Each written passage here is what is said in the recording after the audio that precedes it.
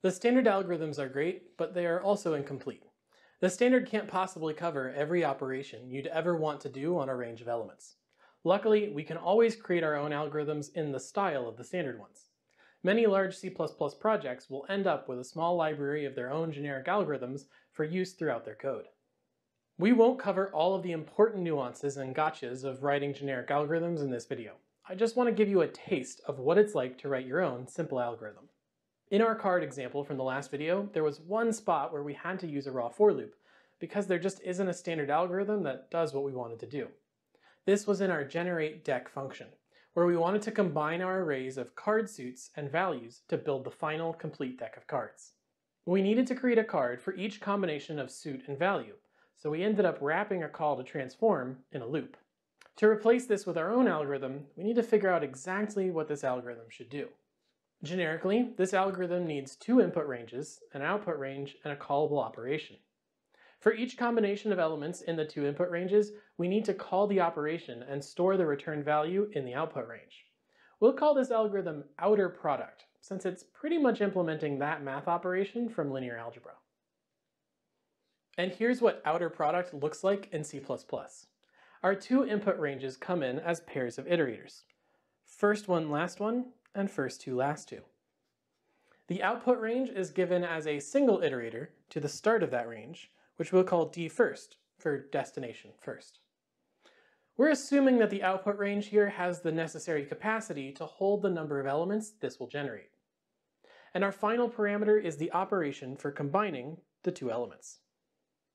Note we're using templates for pretty much everything here. We want to work generically with any types of iterators and callable objects. Using templates gives us this flexibility. Within the body of the function, we have two nested loops using the input iterators to iterate over each range. The outer loop iterates over the first input range, taking the first one iterator from its starting value all the way up to when it equals last one. The inner loop covers the second range. We have to create a new variable to hold our current iterator for the second input range, because we'll be making multiple passes over that range. Using this new current iterator variable lets us preserve first two, so we can restart at the start of that range in the next iteration of the outer loop. In the inner loop, we call op with our two input values and store the output into our output range. Then we'll increment the output iterator, increment our current iterator for range 2, and repeat. This is our generic way of expressing the outer product behavior we drew out in the slides. For each element in the first range, we'll iterate over every element in the second range. For each combination, we call op and store the result in the output range. Now, down in the generate deck function, we've replaced our loop with a call to outer product. Our first input range is the array of suits. The second is the array of values. Our output range is a back inserter into our deck variable, and our operation is this new lambda called build card. Build card defined up here, simply takes in a suit and a value as an integer, and then returns a new card holding that suit and value.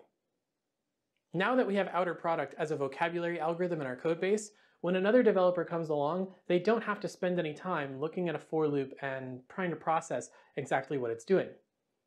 Even for a simple for loop, that leaves room for errors. Now they can see outer product and they immediately know the general structure of what that call is doing. Then they can start answering specific questions. What inputs does this algorithm take? Well, we know that it's going to take these two ranges. Where is it storing its output?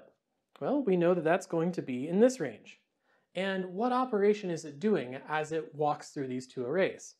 Well, that's going to be covered by build card. In addition to saving us from potentially making common mistakes, Structuring our code around algorithms makes it easier for other developers to answer these kinds of simple questions about what our code is doing. And with that, we've written and used our own custom algorithm. It's okay if you're staring at this code and it's not making much sense to you. This is definitely intermediate level C++, and some of you have only been doing this for a few weeks now. I encourage you to play with this example a bit. Sit with the code a while, maybe sketch out on paper how the iterators are moving around. There's a link in the description to open this up in Compiler Explorer so you can edit and run this example however you like. You can also take the opportunity to play with some of the other standard algorithms to see what they do with a deck of cards. And with that, we've reached the end of our C++ videos. While there's always more to learn about C++, I hope these videos have helped you become more comfortable working in the language. If you're wondering where to go next to learn more, I recommend checking out the recorded talks available from conferences like CppCon and C++ Now. Thanks for watching.